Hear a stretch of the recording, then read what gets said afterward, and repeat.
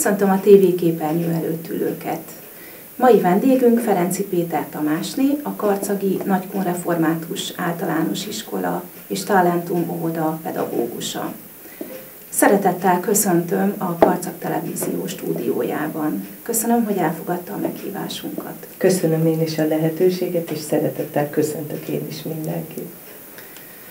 Ön nem régiben egy rangosvárosi elismerést vehetett át, ami pedig a Karcagváros kultúrájáért díj.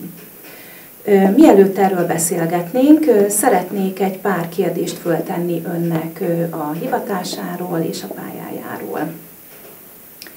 Mikor döntött el, hogy pedagógus lesz? Azt hiszem, hogy ez valahogy mindig bennem volt. Azok közé, az emberek közé sorolom magam, azok közé, a pedagógusok közé, akikben van valamiféle öröktől adódott elhivatottság. Soha nem fordult meg más a fejemben, mindig is pedagógus pályára szántam magam, vagy készültem, egészen kicsi korom óta. Ezt, ezt akár óvodás korom óta érthetjük, bár akkor még gondolom, hogy nem tudatosan, de amikor nyolcadikos lettem, és középiskolát kellett választani, akkor már a Tiszaföldvári óvónőképzőt választottam, mert abban az időben még volt középfokú óvónőképzés, és ebbe az iskolába felvételt nyertem, és itt kezdődött igazán tudatosan a pedagógus pályára való készülésem. Óvónőként kezdte a pályáját? Nem, mert az érettségi után a Debreceni Református Tanítóképzőbe felvételiztem, és ott folytattam a tanulmányaimat. A családjában esetleg van-e más pedagógus is, vagy van-e pedagógus példakép? Nincsenek pedagógusok a családomban, de, de azok a kiváló tanárok, sőt az óvónénieimet is említhetem, olyan kiváló pedagógusok vettek körül mindig, hogy az ő példájuk az, az mindig előttem jár, és járt is. Úgyhogy szerencsés voltam ilyen szempontból, hogy jó iskolákba járhattam, és, és kiváló pedagógusok vettek körül.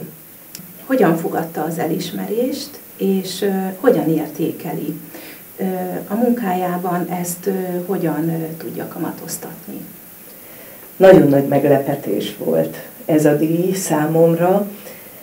Karácsony előtt közvetlenül kaptam egy levelet, amiről bevallom azt hittem, hogy egy kisdiákom írt egy karácsonyi üdvözletet, és amikor kibontottam és elolvastam, akkor szembesültem vele, hogy